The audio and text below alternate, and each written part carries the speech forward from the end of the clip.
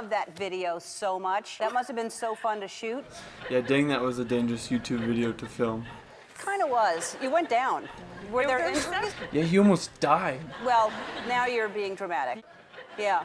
No, that's extreme. No, what was extreme was- was when we did the dinosaurs went doorbell itching. That was extreme. Yeah, but that video is going out of style now. No, just like clothing comes back in style, you can come right back around to that topic again if you'd like. Yeah, but when it does come back, I just want to be sure to not anger the neighbors. Really? Oh, okay. But because it, it seemed like people were like expecting this not to be as, as good. You didn't you didn't worry about how certain people do things. You do things your own way and, and it all works out for you. Thank you. Welcome. Now let's talk about me. Um,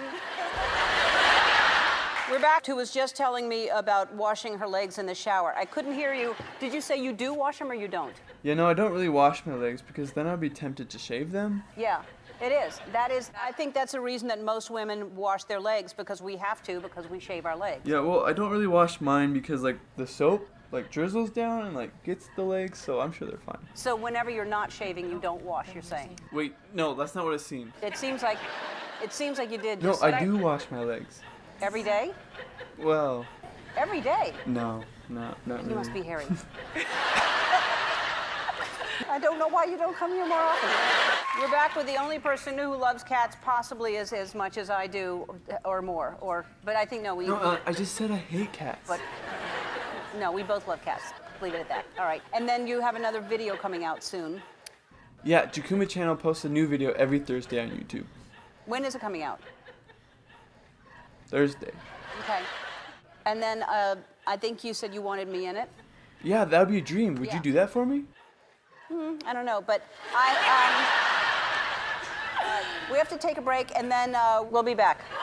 What I'll do is I'll read a question, and then you will answer the question, and then hit this for no apparent reason.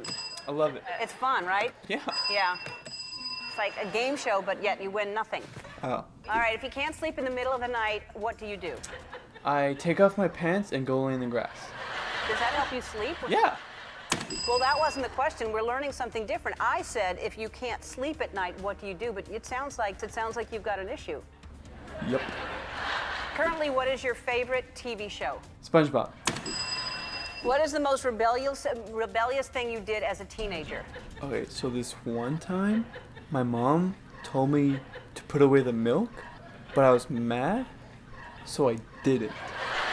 What is your favorite curse word? Moist. What? Why did it bleep you out, but not me? It's just a good solid one. Because it can also mean like really good, like. Your friend invites you to dinner. Uh, what do you bring? Another friend. What kind? A third wheel. What's your favorite holiday? No Shave November. Um, what's your favorite movie? Finding Dory. Good choices. Uh, name three words to describe yourself. Um, Harry, Xavier, Jordan. Yes. I would say creative. Oh, thanks. Yes. Okay. Okay. That's oh, it's out of time. Go- We'll be back.